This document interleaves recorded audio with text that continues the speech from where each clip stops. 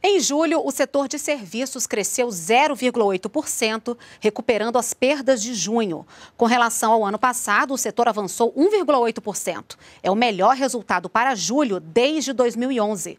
As informações foram divulgadas agora há pouco pelo IBGE.